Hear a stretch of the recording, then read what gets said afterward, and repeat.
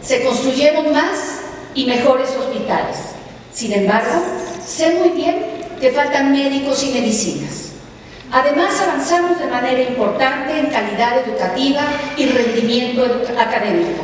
No obstante, muchos planteles carecen de infraestructura digna para niñas, niños y jóvenes.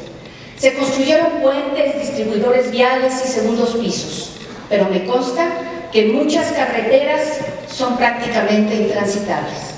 Adicionalmente, es importante reconocer que somos el cuarto estado con la tasa de mortalidad infantil más alta del país, el tercer lugar nacional en embarazos en adolescentes y el primero en tomas clandestinas respecto al robo de hidrocarburos.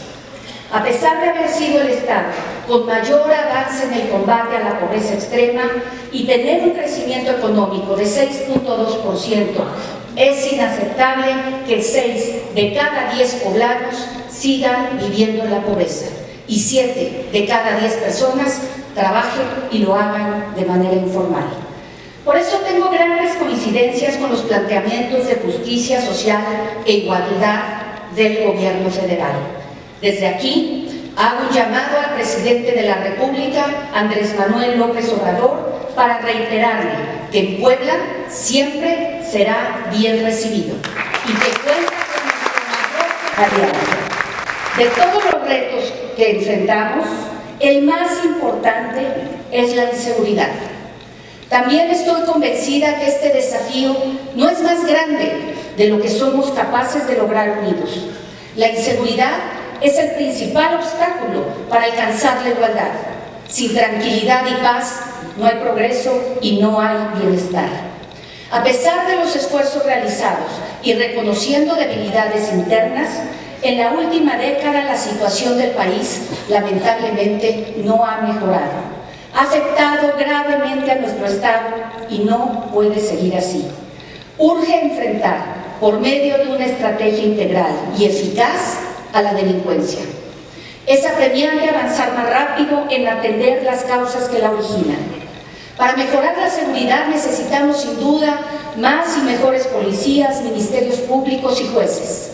Pero también resulta prioritario construir un sistema de prevención del delito y procuración de justicia que detenga a los criminales, premie a quien hace bien su trabajo castigue a los corruptos, se rija por leyes que defiendan al ciudadano y no al delincuente y acabe de una vez por todas con la tenga la misma cortesía política que tuvieron las diferentes fracciones parlamentarias del Senado para aprobar los nombramientos de Marcelo Ebrard como secretario de Relaciones Exteriores y de Irma Sandoval como secretaria de la Función Pública.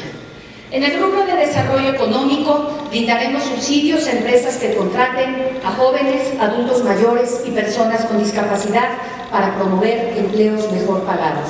También otorgaremos incentivos fiscales a las empresas que se instalen en municipios de alta y muy alta marginación y mantendremos la reducción de un punto porcentual sobre nómina a aquellas empresas que cumplan con sus obligaciones fiscales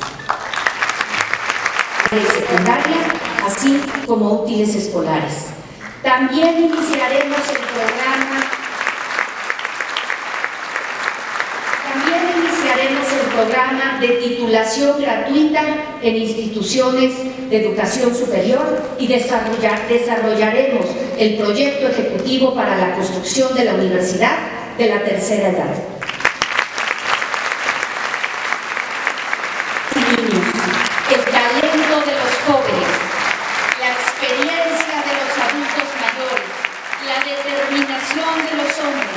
La voluntad de las personas con discapacidad y especialmente la fuerza de las mujeres.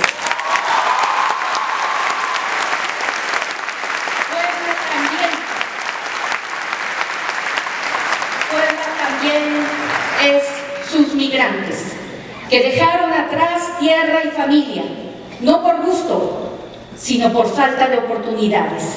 Y también Puebla es sus 12 millones de visitantes que año con año vienen a conocer las maravillas de nuestro estado. Puebla es el empuje del sector empresarial, la vocación de los docentes, la creatividad de los estudiantes y el trabajo de los productores del campo. Puebla somos quienes nacimos aquí y los que vinieron de otras partes para seguir haciendo de nuestro estado un lugar de progreso. A Puebla la hacemos todos. Nuestro estado requiere la mejor versión de cada uno de nosotros. En esta tarea, todos, todos somos importantes y nadie debe quedar fuera. La justicia y la igualdad social demandan que cada quien haga la parte que le corresponde. Es tiempo de la reconciliación, aprender de los errores del pasado y ver hacia adelante. Las poblanas y poblanos merecen que todos los actores de la vida pública dejemos a un lado las diferencias políticas e ideológicas y nos pongamos a trabajar. Por eso,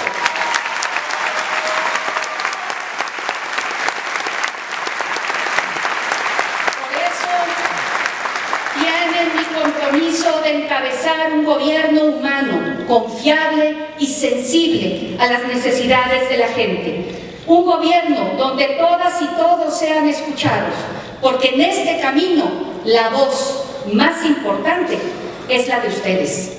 Llegó el tiempo de construir un Estado con igualdad para todos, porque lo que realmente importa eres tú. Muchas gracias.